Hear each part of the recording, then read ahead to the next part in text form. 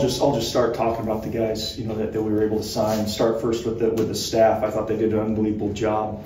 Um, you know, JT, Josh Patterson, um, Jalen Moore, and then the addition of um, Todd McShane. They came in and, and we're really able to rebuild this class of high school guys in a short amount of time and doing it with quality.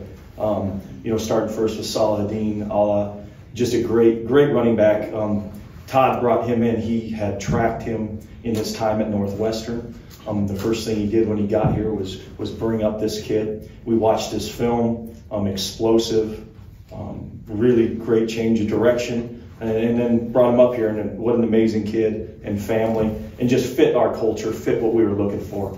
Um, you know, Exodus Ayers, defensive back, uh, has been with us, committed to us for a long time, um, and just really talented, long, like what we like in the back end in our secondary here. Plays the way we want them to play, um, and, and, has stayed committed to us through you know people trying to flip him, which has been great. Um, very very loyal kid. We're, we're excited about him. Dexter Foster, inside linebacker from from Central Catholic up in Portland. Um, just really raw and talented. Um, he's got a huge, huge upside and ceiling to him that, that I'm excited for him to get here and get to work.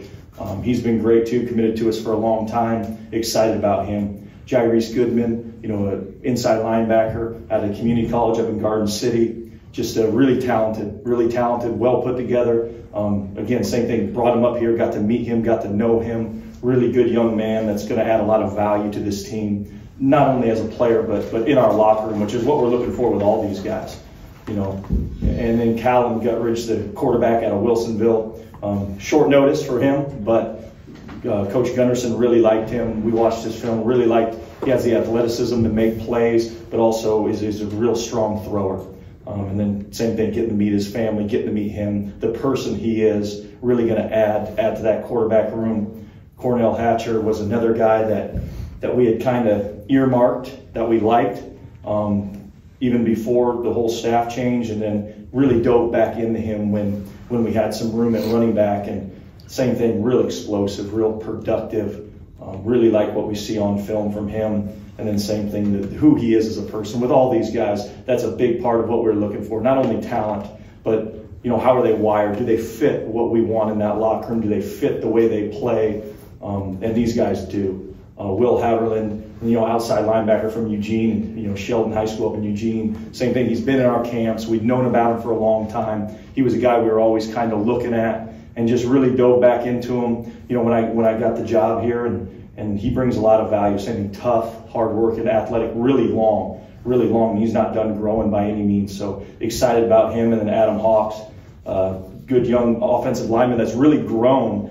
You look at where he was a year ago um, just in size and stature to where he is now. I mean, a guy that's on the uptrend in his development. He's not tapped out anywhere near it, um, and add some size and athleticism to him. And we're excited about that. Coach Devan did a great job with him. And then Shamar, uh, outside linebacker from Florida, just really talented, um, long, athletic, fits what we're looking for in the edge. The Chatfields um, the guys like that has that explosiveness, ability to get to the quarterback, which we want need to continue to be our trademark here at Oregon State.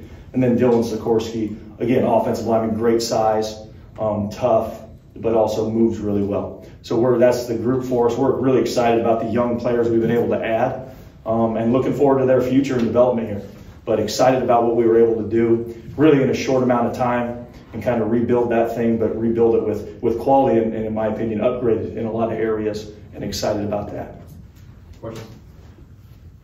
Are any of these, are any of these uh, 10 going to be um, graduate early and, and enroll in January? Uh, there will be, yes, there will be a couple. Um, you know, obviously Goodman will be here.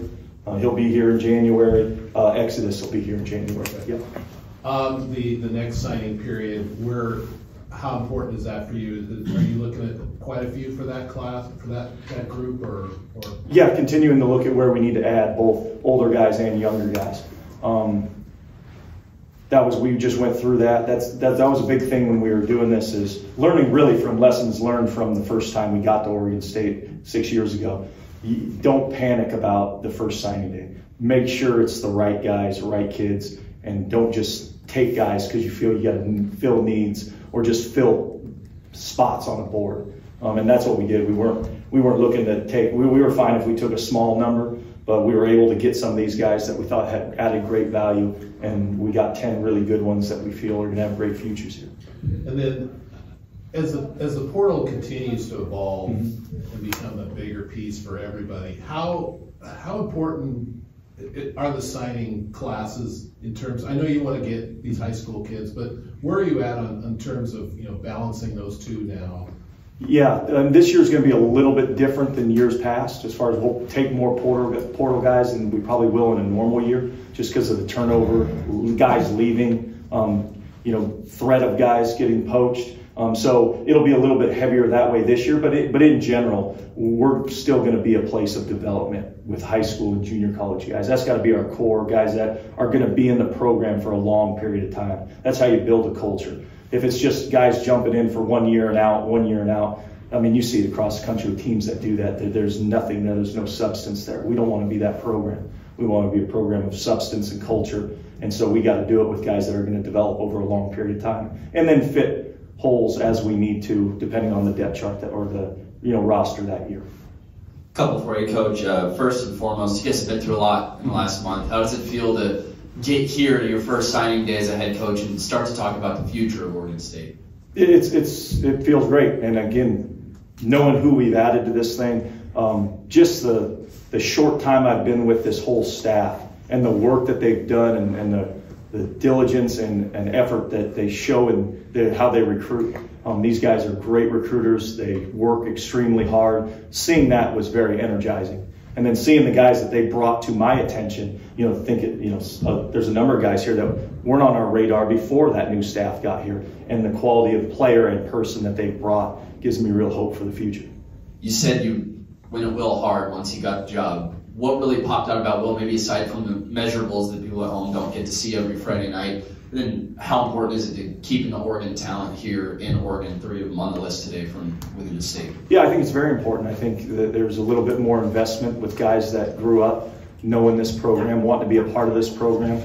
Uh, Will's another one of those. He, he always had the measurables, and we always really liked him. I think it just fell back early on. Sometimes you get enamored with guys from far away, like they add more value, but you go back to what's really important, and that's, you know, how does he play the game? Um, you know, what does he have development left in him? Is he tapped out? He's nowhere near tapped out, and he's got great frame and stature to, to continue to grow. So, you know, you will kind of want to get those guys that are on the rise and you can develop rather than they're peaked in high school. And he's one of those guys that he's just scratching the surface of what he can become.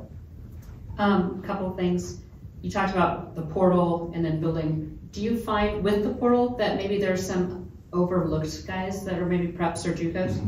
There's no question. Um, so many teams are so portal heavy. There's a lot of guys that, that do get overlooked or are going. You know, I look at Saladin.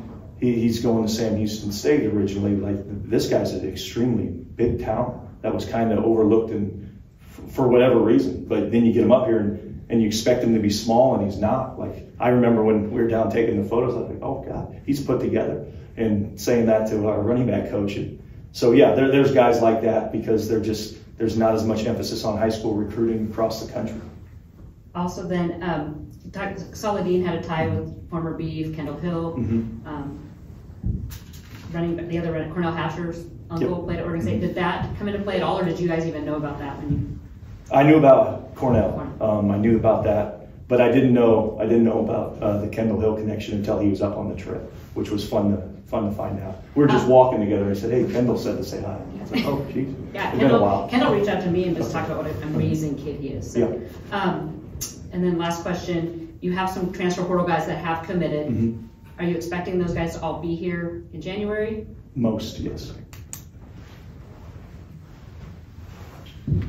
What, at, at this point, knowing what you have on the roster, what are the most important positions that you need to, need to fill either through the portal or this next group of signings? Yeah, we're, we're going to look to continue to add to the quarterback room where we had we had some departures, um, and then the, the tight end room, same thing. There's been some departures, and and really the defensive backfield. Um, those those are kind of the three big ones that we got to immediately add guys to, and then every position we kind of looking at. You know, we're going to add a guy here or there to to fill some spots of guys that are taking off. Yeah. What, what have been the challenges to hold on to some of your guys on the roster? Well, the challenge is, you know, everything's happening behind your back. Um, luckily, luckily or unluckily, I know about the stuff because we got great kids and they're pretty upfront and honest about what's going on with them. So, but it, that's really it. You know, they're getting called all the time. You never know day to day, you know, what their situation looks like. So it's just it makes it it makes it tough. But I mean, you got to just fight through it and continue to keep your relationships with your own players and as you continue to work to add to, to the program and belief in me and where we're going, where we're trying to go with this thing is it's, I'm very grateful is the best way to say it.